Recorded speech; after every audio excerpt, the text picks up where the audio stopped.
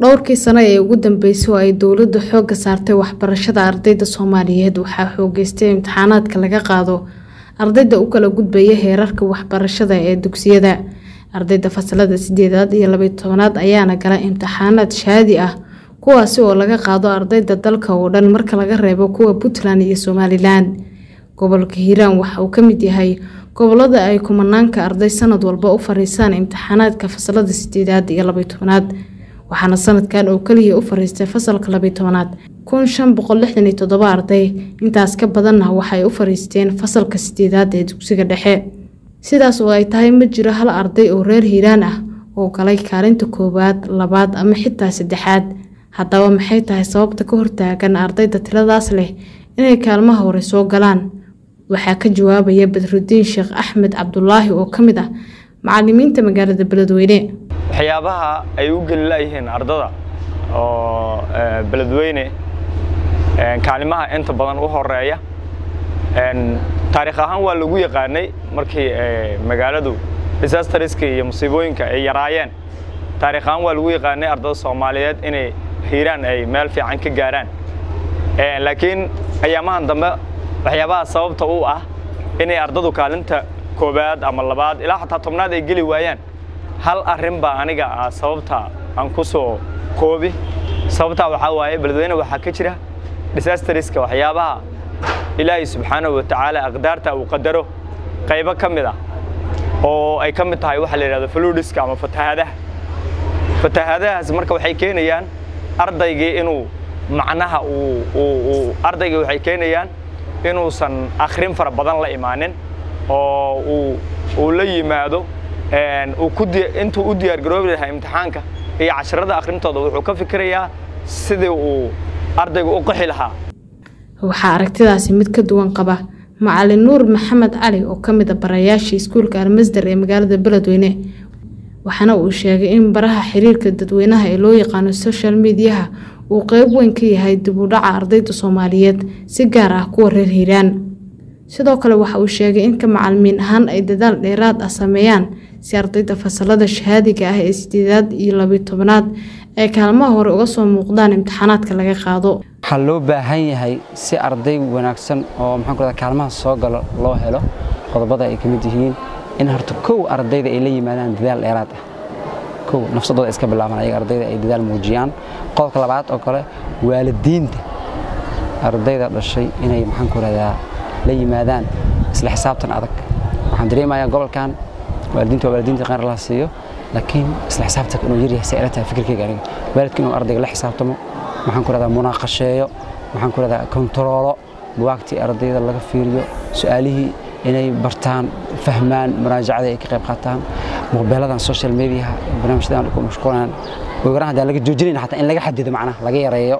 Maamulaha iskuulka almasdar oo aan weydiinay waxa ardayda reer beledweyne ka hortaagan inay kaalmaha hore ka soo muuqdaan. Ayaa waxa uu sheegay inaysan macquul ahayn in arday ugu yaraan laba bilood qaxooti ah oo kaalin hore galo. Waxyaabaha loo baahan yahayna ay ku ka tahay in xal waaro loo helo fatahaadaha ku soo laalaabtay magaalada beledweyne. Reer beledweyne waxyaabaha aan is leeyahay waa waxyaabaha kaalmaha u diidaya waxaa ka mid ah magaaladu waxaa mara webiga shabeelle kaasoo mar walba ay ku keena wax loo yaqaano damages ama dhibaatooyin ku keena. Damageskaas waxaa ka mid ah in ardadii biyobaxada ama falaadhis ay saameyso xilliyadii weliba biyobaxada ay imaanaysa waxaa ka mid ah xilligii imtixaanada ay soo dhawaayeen oo ardada ay isku diyaarinayeen. Taasna waxaa ka dhalanayso in ardadii buwaagtii maxaan ku dhahaa ay ka qoyaan ama biyobaxadii ay ka qaado guryahoodii ay ka cararaan ay ka qaxaan haddaba maxaa looga baahan yahay macalimiinta waalidiinta ardayda iyo dowladda si ardayda reer hiiraan ay uga soo muuqdaan kaalmaha hore? Waxaa dul istaagay nuur maxamed cali oo ka mid a barayaasha magaalada beledweyne. Ardaydan ay dadaal ay sameeyaan macalimiinta oo kale naftirkoodan inay sameeyaan nafuris waxa la yidhahda nafuris oo ardayga xiisooyinkan yarko lixda xiis ama shanta xiis uu siinaya uusan fiirinin. Oo maxaan ku rahdaa waqti dheeraad ah ardaydiisa u qabto labadan siiba labadan galaas oo hadda sideedaadka iyo labayo tanaadka oo kale. Dowladda kaalinteeda wallaahi kaalin muhiima laga rabaa ay ka mid tahay in tayada waxbarashada gobolka kor loo qaado. Tayada gobolkan waxbarashadiisa hoos inay u libataan malaynayaa marka inay kor u qaadaan tahay wax walba looga baahnaa oo tasiilaad ah inay dowladda ka saacido sida iskuulle inay dhisto in waxbarashadii la ballaariyo.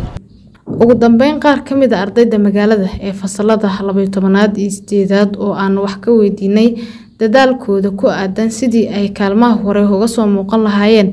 Fatahaadaha iyo ardayda oo waqtigooda ugu badan ku lumiya baraha bulshada. Waxa ay sheegeen in sanadkan ay isku dayayaan in ay arinkaasi bedelaan oo ay kaalmaha hore soo geli doonaan dadaalka arrinkaasna ay hadda wadaan. Aadaa u diyaarinaya cashirada iyo macalimiinta waxay igu dhiirigelinaya inaa diyaariyo cashiradeeda ardayda asagaaga waray beledweyne oo qoonqoro maxaa dhihi lahayd oo ku dhiirigelin waxaan dhihi lahaa cashirada inay ku dadaalaan iyo macalimiintooda tixgeliyaan waalidkoodan ay ka farxiyaan kaalmaha ay rajeeyaan alxamdulilah waan rajaynaya inaa kaalmaha oo koowaad ka soo muuqdo waan dadaalina dadaalka wallaahi inta dadaal aa sameyno samey karno waa sameynaa inkasta oo weli aanan arkin gobolkeenna yani beledweyne gaar ahaan wax oo kaalmaha koowaad iyo labaad iyo ka soo muuqda weli aanan arkin. Anigu waxaan haysato fatahaado iyo markii laga soo tago? Ardayda kale waa arday aan waxaan filayaa kaalmaha galo waa la wareystay. Waxay sameeyeen baraha bulshada iska xidheen way dadaaleen. Laakiin arday raba inuu tiktok ama wax fiirsado oo maanta oo dhan baraha bulshada ku mashquulsan iyo inuu kaalin galo isma keenayso.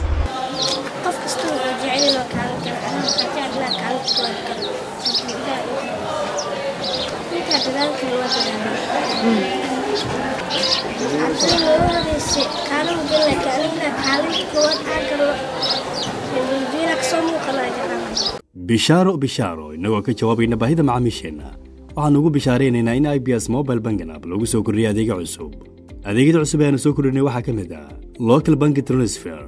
Adeeggan waxaa kuu sahlaya inaad si fudud oo deg dega lacag ugu diri kartid dhammaan bangiyada dalka adigoo isticmaalaya teleefonkaaga gacanta.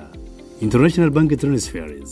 Adeeggan waxaa kuu sahlaya inaad lacag u diri kartid bangiyada dibadda gaar ahaan kuwa dalka kenya adigoo isticmaalaya teleefonkaaga gacanta.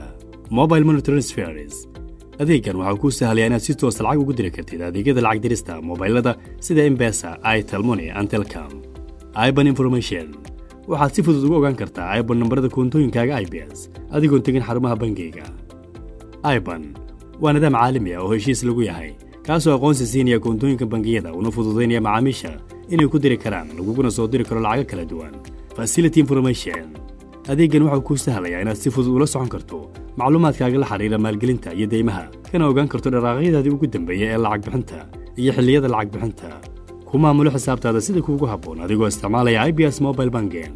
Ku dooro sahlanaan degdegsiimaya ammaano kala soo deg google balay ama abstorka ku xidhnow ibs bank